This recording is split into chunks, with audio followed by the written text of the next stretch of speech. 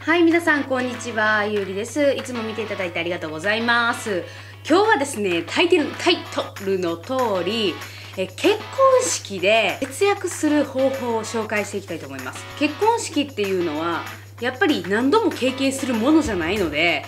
どこでお金をかけてどこを節約してどうやって安くをしてやっていけばいいのかとかその結婚式っていうこと自体がわからない方ってやっぱ多いと思うんですよ。自分が経験すればわかるんですけど経験するまでってわからないし無知のまま行ってお金めっちゃかかっちゃうっていうこともよくあるので私は今回自分なりに結婚式を準備するにあたって、えー、私なりに工夫をしてあとは周りの意見とか聞いたものをですね伝えていきたいと思います。やっぱり結婚式は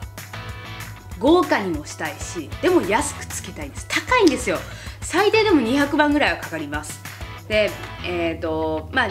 正直人数来る人数によっても金額っていうのは変わってくるんですけど私は、えーと、大体100人ぐらい来ました。なので総額で言うと600万から700万します。でその金額をですね私は抑えて抑えて、えー、300万前後で結婚式をしました。でまずですね結婚式で基本的にオプションとかまあ、ある程度ついたものをついてだいたい200万ぐらい。その上からドレスとかお花ブーケあとは料理そういうものが加算されて、えー、だいたい金額が大きくなっていくんですけど私はまずなぜ総額600万から700万する結婚式が300万前後になったかというとまず一番大きかったのは私は結婚式場をパンフレットだけで決めました。っ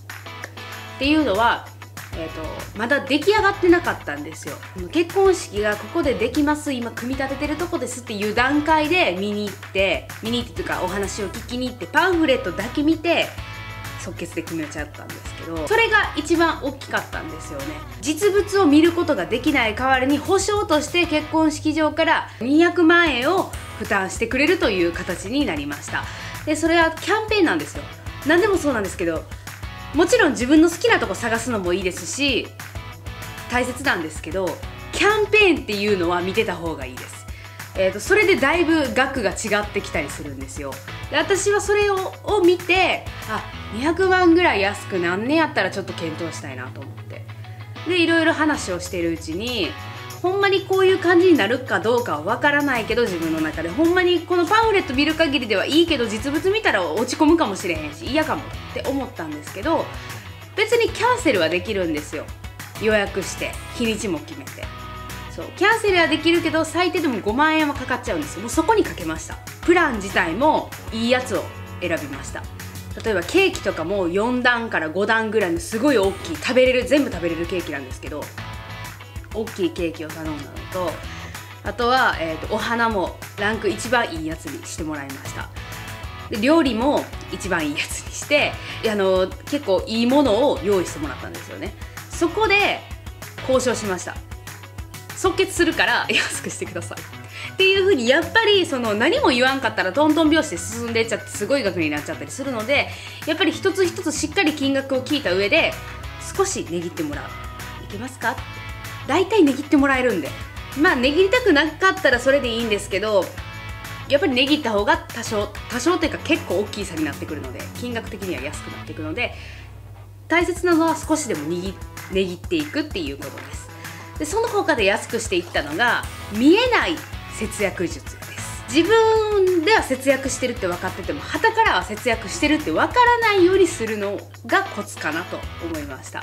例えばなんです。私がしたのはドレス、えー、持ち込み料が無料のところもあれば持ち込み料がまあ少し5万ぐらいとかなるところがかかるところがあるんですが基本的に結婚式場で全部借りるとするとブーケティアラそれからアクセサリー、えー、ドレス靴ね、手袋。全部借りようと思ったら結構いって100万ぐらいいくからドレスによっても違うんですけどブーケが1つ3万とか、えー、ティアラが1万円とか借りるのにですよ。1回のレンタルでそれぐらい額するんですよ。額がかかるからそれやったら私は全部メルカリで買ったろって思ったんですよ。メルカリやったら絶対あるし可愛いのあるし自分の好みもあるしと思って正直中古でいいやって思ったんですよ。1日だけやから。自分がそのいいもの身につけたいっていうの。新品とか綺麗すっごいキレキレなのをつけたいしやっぱいいものをつけたいっていう場合はまた別なんですけど周りから見て正直わからないんですよ。あのー、結婚式って前やと思うじゃないですか見た目。前が主役と思うと思うんですけど後ろなんですよ結局。だから後ろが綺麗なドレスとか後ろ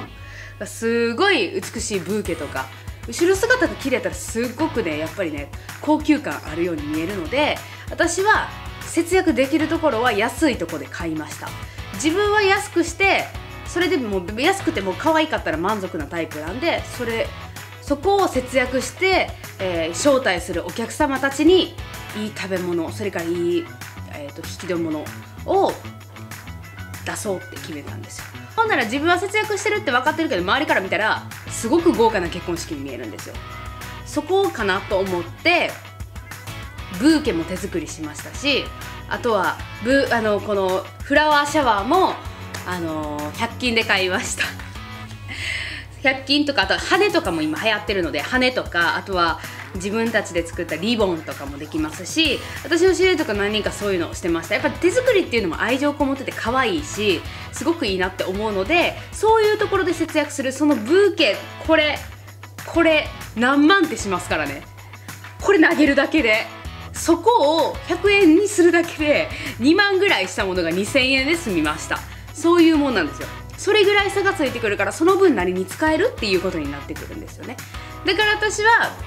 見えない節約をするようにしました。あとはケーキの飾り付けなんですけどケーキの飾り付けもお金がすごくかかります、えー、非常に高いんですけどそこは私飾り付け持ってきますって言いました。自分が飾ってほしいものいろんなインテリアじゃないけどそういう小物をいろんなとこからかき集めてでシンデレラっぽくしたいなと思ってこういう感じなんですけどこれ全部自分が持ってきたものです。こういう風に飾り付けしてもらうっていうのは無料なんですよ。なのでそこにお金をかけずに自分で持ってきたものをいい感じに仕上げる。あとはいろんな画像を見てそれに近づけていくっていうことによってすごいゴージャスなケーキに仕上がるんですよね。そう。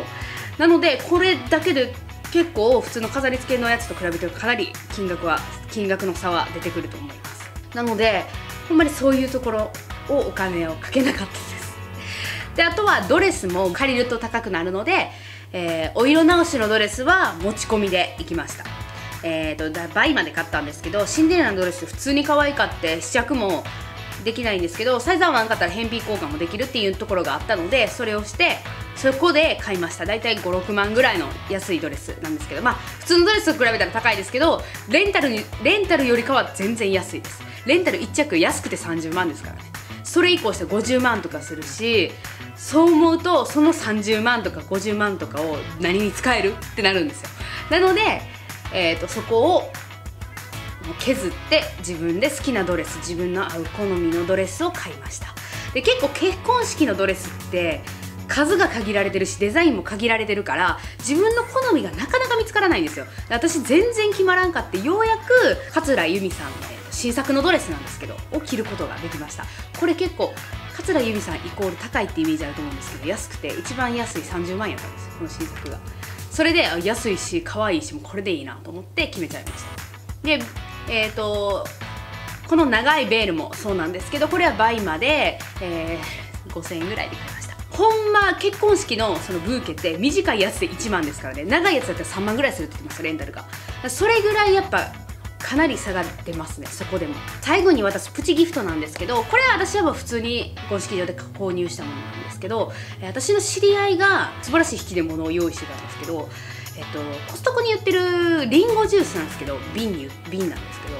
結構量あるのにすごく安くてしかもめっちゃおしゃれなんですよ。可愛い。なんか小物として使えるし後から砂糖入れて置物としても置けるんですよ。なのであのそういうのもいいなと思ってえっと、いろんなところで安いプチギフトとかって売ってるんですよ。自分たちで買う方が正直安いんですよね。やっぱり結婚式場で頼むと結婚式場が取る分とそこのお店が取る分っていうのが出てきちゃうのでやっぱ金額が大きくなっちゃうんですよ。なのでそういうものは自分たちで、えー、おしゃれなものとかいっぱい工夫してるものっていっぱいネットで出てくるのでそういうの調べて自分がいいなって思ったものを買いに行ったりとかする方が安くつきます。あとはドレス自体もオーダーできて3万円か。そうです。オーダーのドレスで3万円とかっていうのもあるのでぜひそういうところで工夫して金額を抑えていい結婚式にしましょうっていう感じです。